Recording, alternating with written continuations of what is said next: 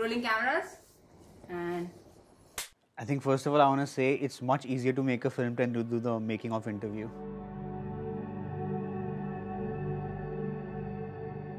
Yeah, I wanted to run away from my dad's business.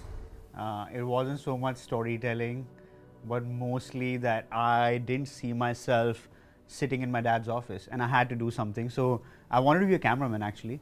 Uh, uh, I used to do stills and photography. And so I thought it'd be nice to, you know, venture into documentaries. And slowly I found my way. You've got a hang of the music, what the dynamics are, just play those dynamics without music. Okay? Everything I, I think the idea of love uh, over the years in Indian films have been oversimplified for the most, for the most times. And I've um, been thinking about exploring a relationship that, you know, goes into the gray zone or gets murkier or is, is a little more complex. So infidelity was something that was playing on my mind for a very, very long time.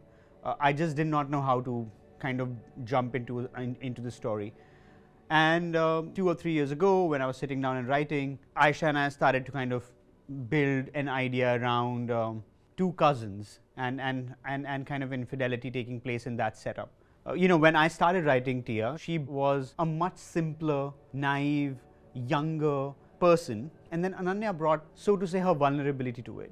She brought her sweetness, her, her love to it. And that, and that really, you know, gave this character a, a newer dimension. I, I, I, fell in love with her even more. Karan's, um, you know, the, the kid who doesn't want to leave college, the kid whose idea of life doesn't change after he steps out of college.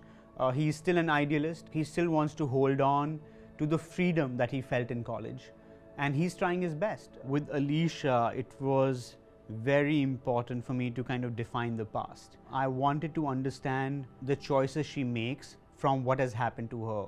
So for me, it was first trying to understand what's in her that she's unaware of. You know, Alisha was constantly feeling this void. Uh, she was unaware of all the complexities that she was holding within. And Zain comes into her life and he almost promises her freedom from that.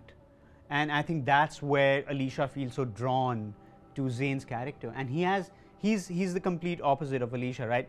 Alisha, at that, in, in the early stages of, of the film, is scared to make choices. Whereas Zain, he's been scarred too in his past, but he's managed to make choices that are very different than Alisha's.